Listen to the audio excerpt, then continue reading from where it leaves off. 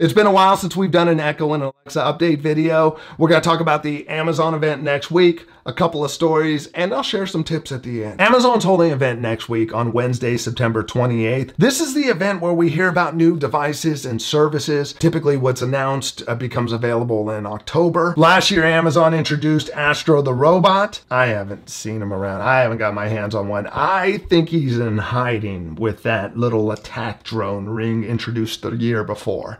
So this is the year we're going to see them. They also introduced the Echo Show 15, the Ring Alarm Pro, and a few other devices in there. During this event, I would expect new Echoes and a lot of talk about Matter and Thread. Uh, Matter devices are supposed to be releasing sometime this fall. I wouldn't be surprised if after this event, some devices started to roll out. Like maybe Amazon's partnered with people, but who knows? Um, Echo fifth generation would make sense since it has been a couple of years. Not a lot of rumors for the Echo Show. The 5 and 8 are a couple of years old. The 15 just came out last year. Maybe the 10 will see something. I wouldn't be surprised if this year we just see some internal changes, maybe slight cosmetic changes, color, material changes, but I don't see a huge redesign happening. I think it's more about processing and that thread and matter support. Now, the biggest thing I would like to see of this Echo event is faster processors and more local control. Stuff going to the cloud is too slow, so I'd love to see more stuff happen on device. And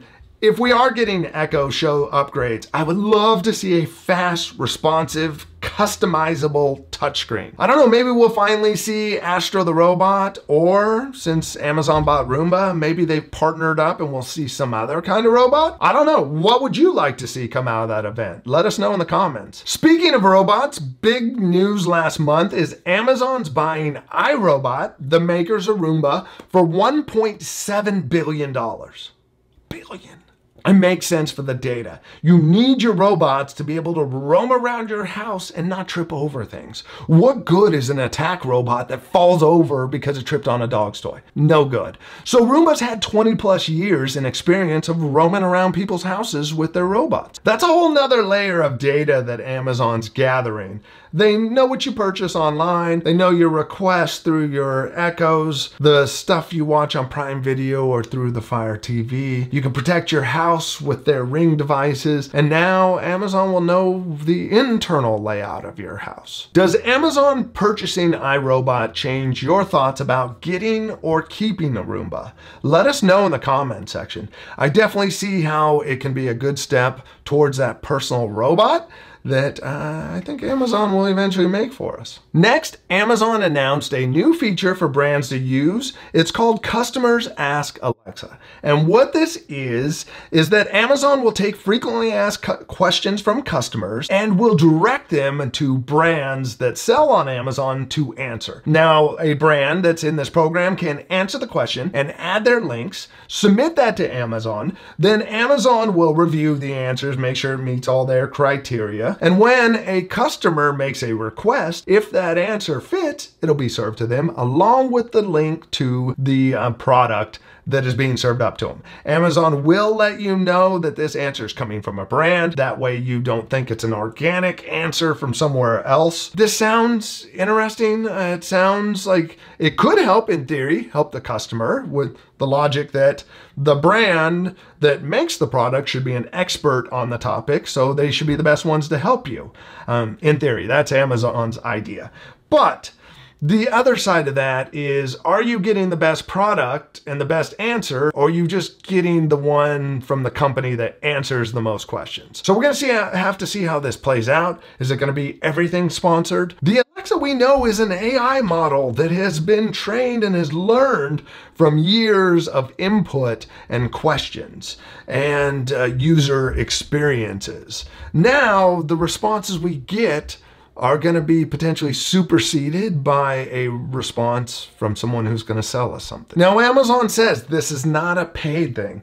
Basically, if there's something on how to get ink out of a shirt, any company that makes a product that could get ink out of a shirt could answer that question, and the best one should help. That is good to know it's not a pay for placement deal. Now, this program is invite only. There's a select group that gets to start using it October of this year, but in 2023, all eligible US companies will be able to take advantage of this. Now, let's talk about tips. This first one is from David, who's a regular on our YouTube live streams Saturday mornings at 9 a.m. PT. Come on by sometime. This is one that is long overdue that I didn't realize had come to the Echoes, but you can now delay certain commands. Uh, where this comes in handy, where I've used it and tried it, is being able to ask for something to turn on or off after a certain amount of time. For example, Alexa, turn Office Beam off in 10 seconds.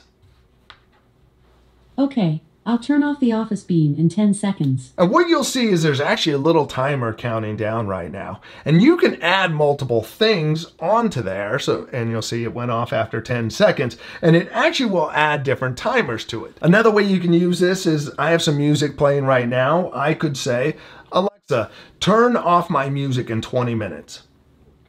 Okay, I'll stop playing in 20 minutes and now it's going to keep playing that music for 20 minutes. You can also ask for music for a certain amount of time. Alexa, play rock music for five minutes. So now it started playing. It's going to play this for five minutes, but still, I don't know how that's going to work. Still has the time counting down from the previous command to it. Now, if you do touch the timers, it will actually pop up on the side telling you what each of those timers are for. And now you just keep adding things to it. I don't know how many of those you could add, but it is nice to be able to uh, delay certain things. And if you want to cancel any of those actions, you can say cancel the, time the name of the timer it made for that action, or just say cancel all timers. The next tip tips are for using Alexa with Thursday Night Football. If you didn't know, you can watch Thursday Night Football on Prime Video here in the US. Don't know what the deal is outside the US, uh, but now there are some additional features you can use. The first way is being able to ask Alexa to see X-ray. This is going to bring up the in-game stats for you. Second, you can now ask questions about the game during the game without it pausing. Uh, you don't want to pause a live event just to hear some question about how many tackles someone has has. But to get a response while the game still keeps playing is pretty cool. Number three is you can use Alexa just to turn on Thursday Night Football. You just say, Alexa, play Thursday Night Football, and it will launch right into it. Number four, you can watch the game over and over as much as you want if you add it to your Amazon Prime Video watch list. You would say, Alexa, add Thursday Night Football to my watch list. Once you add it to the watch list, any new games during the season are automatically recorded and saved for you to watch anytime uh, through 2023. So you could go analyze that game footage and really dive into it at any time during the season so you could get your Final Fantasy football dialed in. That's right, I accidentally said Final Fantasy football. Clearly, I don't play Final Fantasy football much. And the fifth thing is you can ask Alexa to follow your team. And what will happen is you'll get notification of scores, injuries, or any news stories about your team. Next, one of my biggest complaints about the Echo Show is the amount of screens that roll through with different information. What's next in your day? How can I help you? What's your favorite? Just all different things. Go see Thor, Love and Thunder. Ooh, Avatar's coming out. Saw that ad the other day. Now, if you're tired of seeing all these different different screens and you'd rather just see photos instead, you could take advantage of PhotoFrame. And what you do is you can request to have PhotoFrame turned on and get walked through the process. To turn on PhotoFrame, you can say, Alexa, turn on PhotoFrame. Sure, I've started PhotoFrame for you. Now, select a collection to display. We just go with the Amazon collections. Let's pick nature. And you'll see you'll choose a, a collection display in photo frame and on your home screen. So we'll start photo frame. Here are the photos that you'll see. It'll scroll through them. Now if we're at home, we're seeing the backgrounds being used, but we're seeing our normal echo. If I say, Alexa, turn on photo frame. Sure, I've started photo frame for you. That's gonna get rid of everything but the photos. But if we make a request like, Alexa, what's the weather today?